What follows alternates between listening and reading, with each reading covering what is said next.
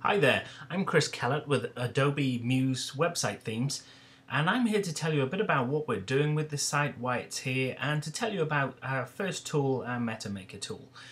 So Adobe Muse website themes the whole idea is that uh, Muse is a great tool, a brilliant tool, and we absolutely love it. We've built sites with it, lots of sites with it, and we absolutely love it.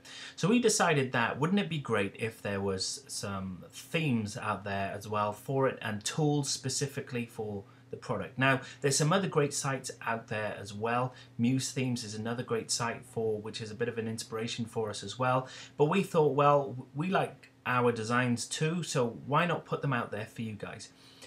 So that's what we're doing. We're currently building our first range of Muse themes and you can imagine the themes are going to be very much like the kind of things that you can get for WordPress, these really cool, great looking themes for all different scenarios. And we're going to be releasing those very soon. So first of all, we'd like to ask you to uh, get the click on the get notified button and um, put your details in there and we will let you know as soon as our Muse themes are available. The other thing that we want to do here is give you widgets, uh, but we're calling them gizmos, to enhance your Muse sites and make it really easy to install these great uh, gizmos for things like Twitter and other social media services um, to extend what Muse can do for you as a small business or designer. We're also building a series of helpers or tools. The first one being our MetaMaker, which will help you to generate the content that you want to put into your Muse themes, either for yourself or for your customers, um, and really make those uh, processes, things like creating metadata for pages and so on, very quick and easy for you. So you can get the job done and move on with your next project. So first, let's take a look at the MetaMaker. Um, we've got an instruction here. Now, as you can see, it just says video there. Uh, you're watching this video from that location. This video isn't created yet, so hence I've just put a holder there until the video is made. Um, and this will give you some basics about metadata, but there's a lot more information out there. So let's go straight into the tool. So click to use the MetaMaker, and you can see here that you've got your keywords, your robots, your description, refresh. Some of these tags you won't use, some of them are important to Google, some of them are more important to Bing, but they're all useful to have within your pages. So let's go ahead and put some data in there. Now I'm just going to jump over and grab some bits and pieces that I've already created to save time. So I've got my keywords and my description and I can't state how important it is to get your description right. Um, it is very important to do this, so so please please get your description right. Don't just put anything in there. It's a good idea to plan all your meta tags first. So we're going to go index follow. We're not going to use the refresh. We're going to use the author. It's going to be Muse website themes. Uh, the generator, we're going to put in here Adobe Muse because it would be a good idea. That tag there will um, is used to show what generated the page we're going to put using there. Revisit, we're going to put in 30 there.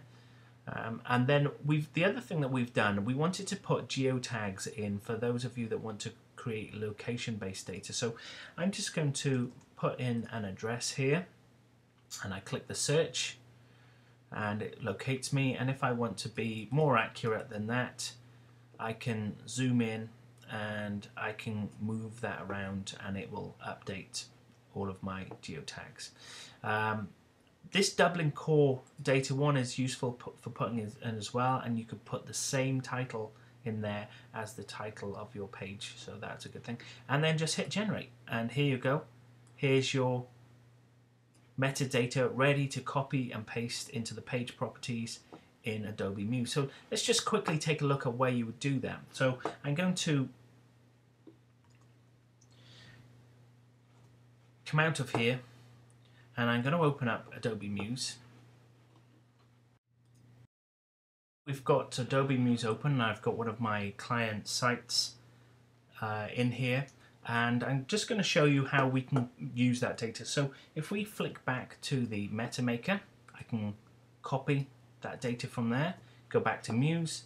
If I go to a page that I want to add that data to, if I right click on it and I go to page properties, then I've got this metadata button here, click on there, and you've got your, your keyword and descriptions.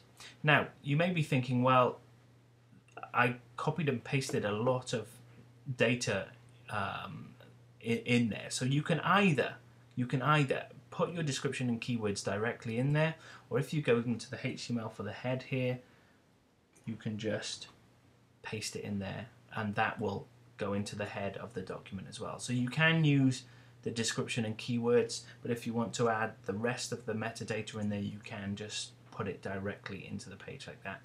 Make sure that you've got a good page title. This is a working site in progress, but make sure you've got that.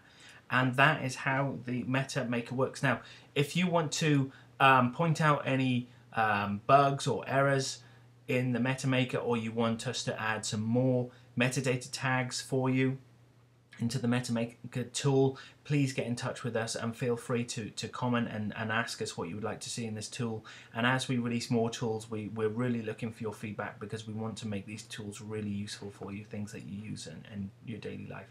So that's it from Adobe Muse website themes for today. Please sign up so that we can notify you when we're live and watch this space for upcoming updates. Thanks for watching. Thank you.